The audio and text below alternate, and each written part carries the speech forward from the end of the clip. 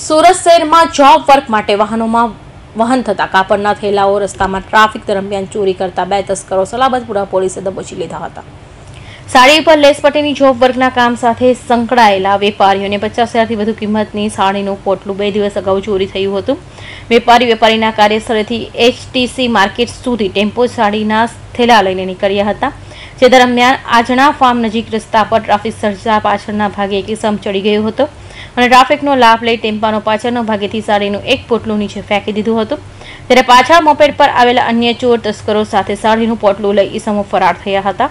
જે ઘટનામાં પણ ફરિયાદ કરાઈ હતી જોકે અવનવી મોડેસ ઓપરેન્ડી સંદર્ભે સલાબતપુરા પોલીસે ટીમ સીસીટીવીના ફૂટેજને આધારે બે તસ્કરોને ઝડપી પાડી પ્રશંસનીય કામગીરી કરી હતી. જ્યારે બે મોપેડ સાથે ઝડપાયેલા નવી મોડેસ ઓપરેન્ડીટ અપનાવતા બે તસ્કરોની અટકાયત કરી હાલ તો સલાબતપુરા પોલીસે આગળની તપાસ હાથ ધરી કાર્યવાહી કરી છે. Bureau report Hind TV news Surat.